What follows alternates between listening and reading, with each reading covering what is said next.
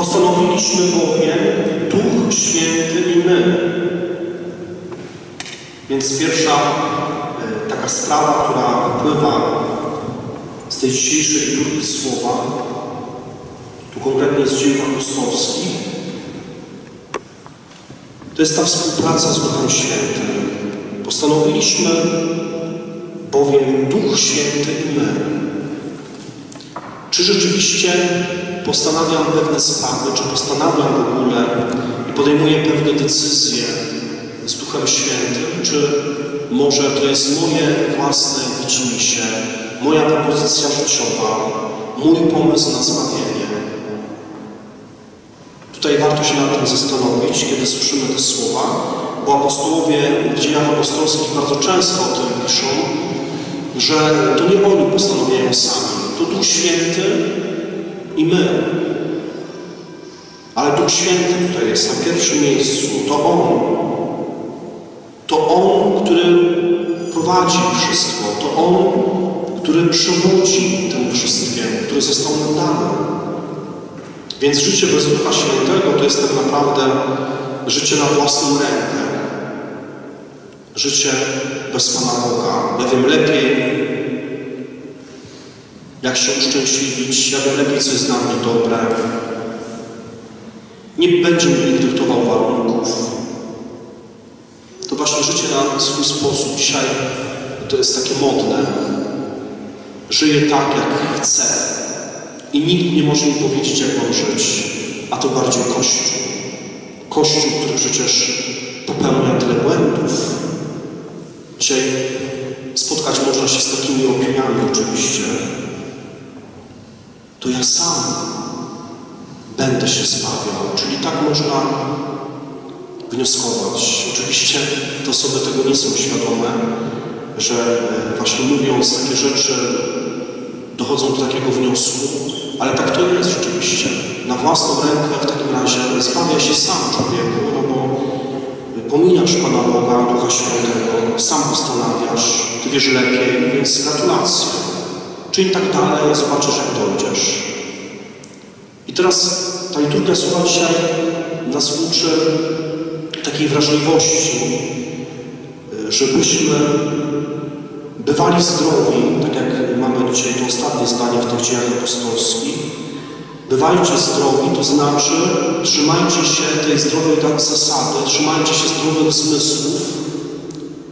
Nie bądźcie głupkowaci, czyli nie postępujcie według własnego widzimisię, bo to wtedy nie jest bycie z człowiekiem zdrowym, tylko wtedy występuje ta najgorsza choroba, choroba duszy. Dusza, która wpada w zamęt przez egoizm, przez to, że chce postępować według swoich zachcianek i przyjemności, uszczęśliwiać sam siebie. Mam swój pomysł na życie. Oczywiście Pan dla nas tego nie chce. On nam chodzi z pomocą. Tak jak mówiłem w konferencji, to Bóg ma pomysł na zbawienie nas. I Bóg postanowił też przygotowywać nas do tego stanięcia przed Nim przez Maryję. To jest pomysł Ducha Świętego. Więc pierwsza ta sprawa, sobie zadać takie pytanie, czy potrafię tak powiedzieć jak apostołowie, postanowiłem bowiem Duch Święty i ja. Nie ja postanowiłem, tylko Duch Święty, czyli przymodliłem daną decyzję, rozważyłem, omodliłem właśnie na różańcu. Zobaczyłem siebie w kontekście Ewangelii, czy tych scen biblijnych, które rozważamy w Różańcu Świętym. I wtedy tak naprawdę postanawiam z Duchem Świętym. Wtedy wypływa to, co jest dla mnie najlepsze, czyli uszczęśliwienie mnie na całe życie, bo pamiętajmy, że Bóg tego dla nas chce. Nie tylko Pan nas chce uszczęśliwić w wieczności, ale tutaj teraz też, kiedy żyjemy w takim świecie, a nie innym, w tym 2019 roku, ile nam jeszcze będzie dane żyć lat, Bóg nas tu i teraz chce uszczęśliwiać. I oczywiście nie na siłę, tylko we współpracy. Na tyle, ile nam pozwolisz utworzyć na Ducha Świętego. Mamy ten rok duszpasterski w Kościele w Polsce pod hasłem Bożego Ducha. Teraz ten czas będzie nas szczególnie przygotowywał do e, zesłania Ducha Świętego w Kościele. E, pamiętajmy, to też jest takie ważne, że od czwartku, od piątku, od piątku 31 maja, akurat tak wypada w tym roku, że w święto nawiedzenia Matki Bożej rozpoczniemy nowennę przed zesłaniem Ducha Świętego, czyli przed tą ważną uroczystością o lepszą współpracę z Nim, żebyśmy nie postanawiali na swoją rękę, Żebyśmy nie chcieli kreować tego świata według naszej wizji. To, co ludzie mają takie pomysły, zobaczcie ci wasze, które nie wypływają w ogóle z Ewangelii. Są przeciw, przeciwieństwem życia, ludzkiej godności. To ludzie dzisiaj wymyślają. Czyli to, co jest tak naprawdę, jeżeli nie jest Ewangelią i nie tyczy się życia, to jest piekła rodem. Ludzie wchodzą w takie, a nie inne prawda, decyzje chcą tak, a nie inaczej żyć, przekreślając wartość rodziny, związków, prawda, między kobietą a mężczyzną. I wszystko. To już można sobie tutaj mnożyć i mnożyć.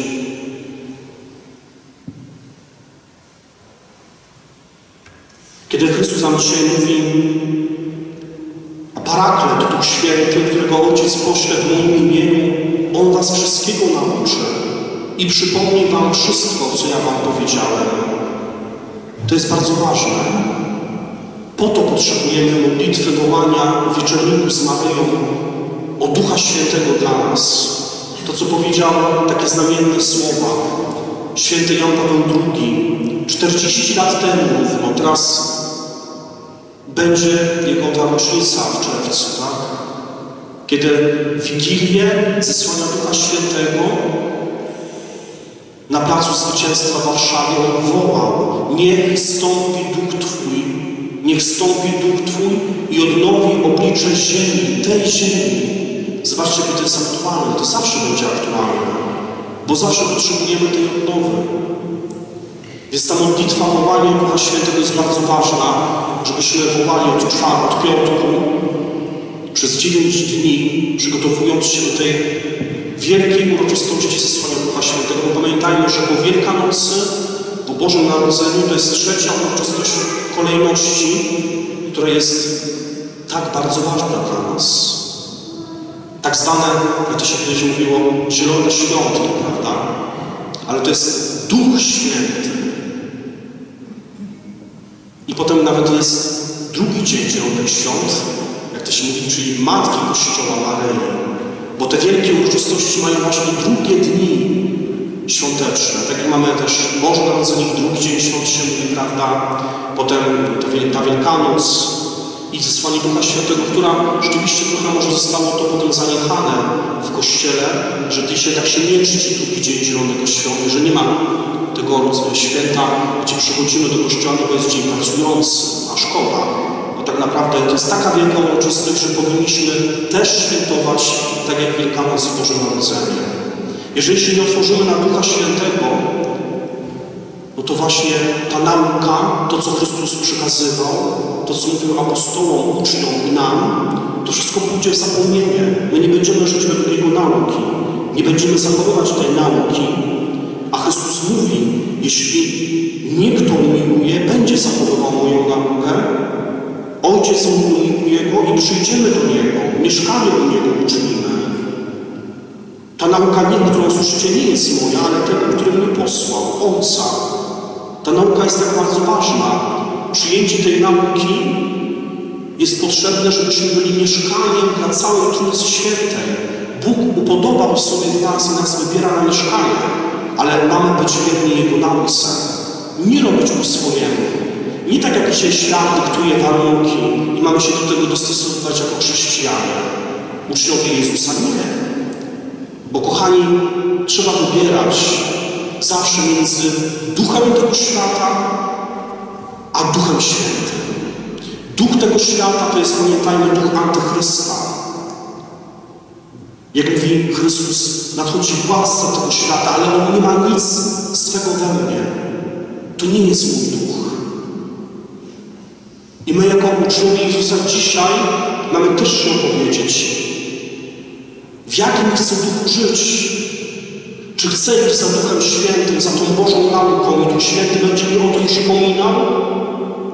On nam przypomni wszystko, co Jezus powiedział, bo możemy rzeczywiście zapominać o pewnych sprawach, ale po to mamy Ducha Świętego, który nam przypomina i otwieranie się na Niego jest tak bardzo potrzebne, żeby żyć na co dzień Ewangelią, czyli tym Słowem Jezusa, a nie swoim widzimisię. Ta walka, ona zawsze była, jest i będzie między rzeczywistością dobra a zła, duchem tego świata, duchem Antychrysta, a duchem Jezusa Chrystusa, duchem świętym. I dlatego Chrystus nam mówi, nie się nie tworzy serce wasze, nie się nie lęka. Nie się nie tworzy. Bo ja odchodzę, ale przyjdę znowu do was. Zabiorę was do siebie. Bo zadowalibyście się, że idę do Ojca, gdybyście mnie miłowali. Bo idę wam przygotować miejsce. Dlatego się nie trwóżcie, nie lękajcie, bo to też jest to, że my czasem jako uczniowie Jezusa, wierzący, jak to się mówi, praktykujący, potrafimy wpadać w taki zamęt, zatrwożenie, lęki, a co to będzie? Ufaj Jezusowi. Niech się nie tworzy wasze serce. Jezus nam mówi dzisiaj, ja Ci pokój zostawiam. Pokój mój daję wam, nie tak jak daje świat. Oczywiście świat nie daje żadnego pokoju, bo świat daje nam, wiecie, jaki pokój, no nie? To jest, świat chciałby, żebyśmy się y, zaprzyjaźnili z takim świętym, który ma na imię, wiecie jak. To jest jedyny święty, który jest najgorszy ze świętych. Święty spokój. Świat daje nam taki święty spokój, no nie? Mieć święty spokój od wszystkiego, od wszystkich. Nie dadzą mi święty spokój. Nie się odczepią ode mnie. Ja mam swoje życie. Ja chcę mieć życie wygodne, życie luzackie, bez problemów i tak dalej. To nie jest święty spokój dla chrześcijan, dla tych, którzy chcą mieć ducha tego, ducha Bożego, a nie ducha tego świata. Dlatego to nieustanne wybieranie. Jest taka święta Miriam od Jezusa ukrzyżowanego, mała Arabka, może słyszeliście o niej. Ona miała takie wielkie nabożeństwo do Ducha Świętego, żyła pod koniec XIX wieku i nawet odważyła się napisać wtedy do papieża Leona XIII, że świat i w ogóle też Kościół zapomniał o nabożeństwie do Ducha Świętego. Dlatego tyle jest błędu, rozbicia, nie ma pokoju i światła na świecie, bo nie wzywa się Ducha Świętego tak jak potrzeba. Tak napisała papieżowi Leonowi XIII. I on osłupiał.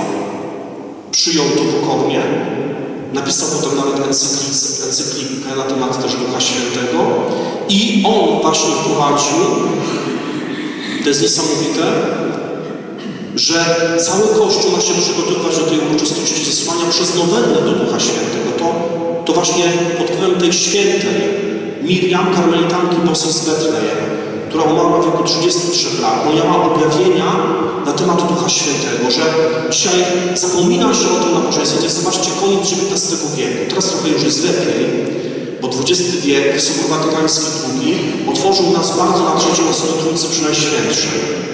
Na jego działanie, na dary, charyzmaty, to, że tworzymy wspólnotę Kościoła, że Duch Święty jest tutaj w nas.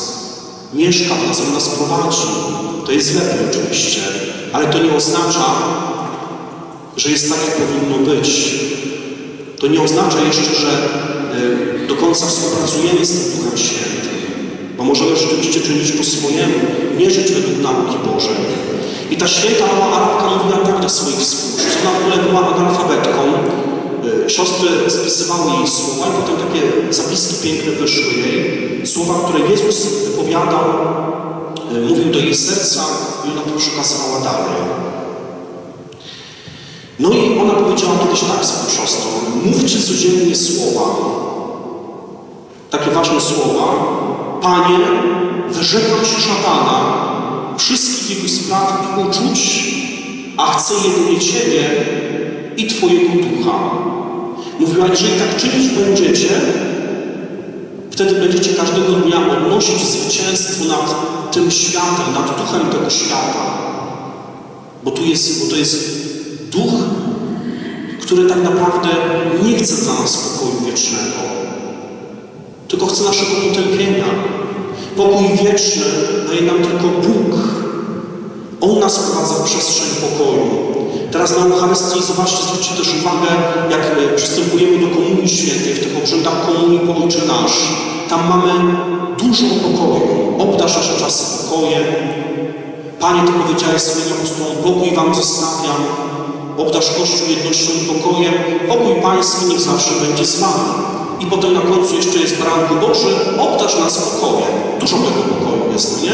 Tuż przed przyjęciem Waszej Komunii Świętej. Co znaczy, że tylko Jezus daje nam pokój prawdziwy, kiedy Go przyjmujemy do serca. Kiedy chcemy tylko Jego i Jego Ducha Świętego. Dlatego warto sobie zadać takie pytanie, czy ja wyrzekam się Ducha tego świata, a chcę jedynie Jezusa. Bo może chcę godzić tą rzeczywistość z tą. To się nie da. To się nie da. Albo wybieram żyć według tego świata i tak jak świat chce zachcianki, wbrew Ewangelii. Dlatego mam odpowiedź w ogóle, już tutaj nie chcę tego tematu poruszać, ale tutaj nie trzeba wiele dyskutować, bo jeżeli ktoś ma takie, a nie inne, prawda, e, swoje opinie na jakieś tematy się wyraża, jak to dzisiaj świat powinien wyglądać, związki i tak dalej, no to wtedy od razu jest odpowiedź, że to nie jest Duch Święty, tylko Duch tego świata. Duch Święty, Ducha, Duch Ewangelii jest to nauka, która jest y, konkretną nauką, prawda? I nie można przekręcać. Nie można mówić, że trochę sobie przyjmę coś z Ewangelii, a to, co mi nie pasuje, wykreślę i będę po swojemu żył. To się tak nie da żyć. Dzisiaj tak ludzie, nawet katolicy, chcą godzić takie życie. Coś, co im się podoba, właśnie sobie wezmę, czyli traktują trochę tak jak Kościół, jak taki sklep. Przyjdą, wybiorą sobie e, ze sklepu to, co chcą, prawda, a inne rzeczy zostawią. Nie wybieram sobie to, co mi się podoba, koniec. Nie. Mamy przyjmować wszystko w duchu Ewangelii posłuszeństwa. To nie jest według mojego, mojego się, bo wtedy nie jestem katolikiem. Jestem pseudokatolikiem. To trzeba sobie jasno powiedzieć. Dzisiaj pewnie Kościół wymaga takiego oczyszczenia. Zresztą jak e, czytamy te różne objawienia Matki Bożej, czy Akicie na przykład, Matka Boża Płacząca, czy są różne świętych też objawienia, to jasno zostało przekazane, że Pan w czasach ostatecznych będzie oczyszczał Kościół, żeby była to garstka ludzi, którzy będą świadomie i dobrowolnie przyjmować ducha Ewangelii. Kościół jest otwarty na wszystkich, ale jeżeli ktoś chce niszczyć ten Kościół od środka, czyli żyjąc w Kościele, głosi takie, a nie inne nauki, które nie są zgodne z Ewangelią, no to kochani, od razu się odpowiedź nasuwa, no chyba na dzień dzisiejszy, jeżeli zmienisz tego myślenia, nie masz miejsca w Kościele. Poczekamy na Ciebie, jak zmienisz swoje myślenie. Kościół dla Ciebie będzie otwarty, ale to Ty masz się podporządkować nauce Bożej, a nie nauka Boża ma się podporządkować Tobie i duchowi tego świata. A dzisiaj jest taka mentalność właśnie wśród katolików. I dlatego nie łudźmy się, ale chodzą te czasy oczyszczenia Kościoła, gdzie zostanie, i tak jak się dzieje na Zachodzie, tak będzie w Polsce. Będą ci, którzy naprawdę chcą być. I to nie będzie złe wcale. To nie będzie żaden kryzys, to będzie takie oczyszczenie, które przewidział już sam Pan Bóg. Postępowanie według Ducha Świętego.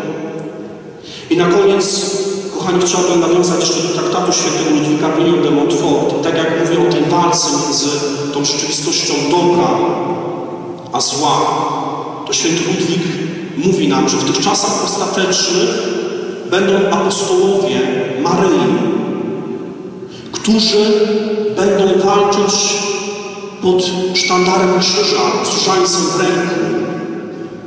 To jest prawdziwa wizja apostoła czasów ostatecznych. Ten, który walczy o pokój Chrystusa tak naprawdę, nie o święty spokój, żeby mieć życie wygodne tutaj, sielankę w tym świecie, ale żeby mieć Ducha Chrystusowego.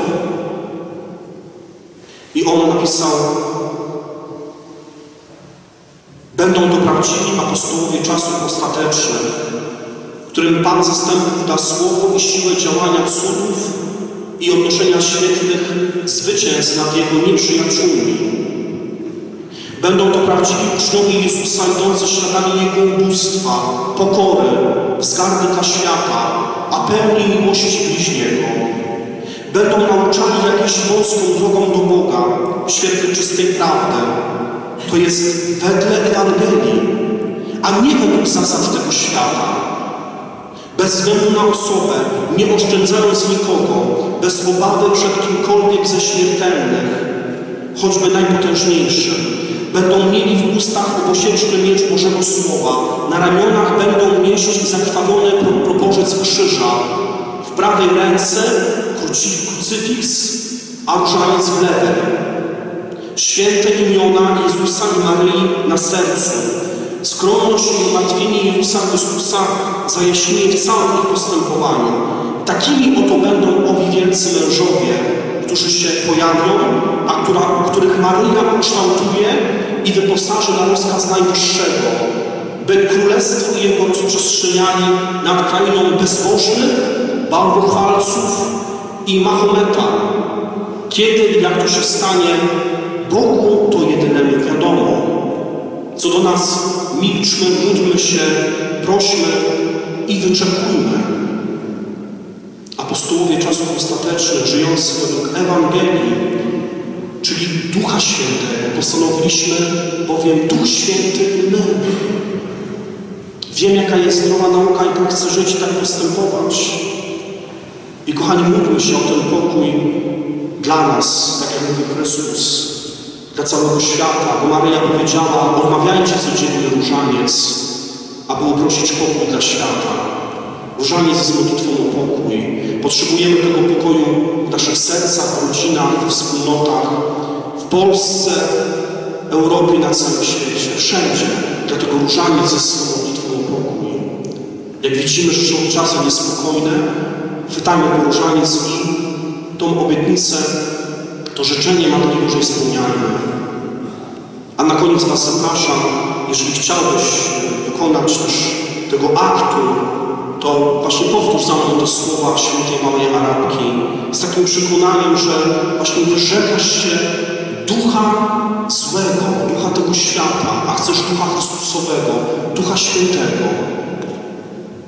Więc powtarzajcie, jeżeli oczywiście chcecie. Panie, wyrzekam się szatana. z i uczuć. A chcę jedynie Ciebie i Twojego Ducha.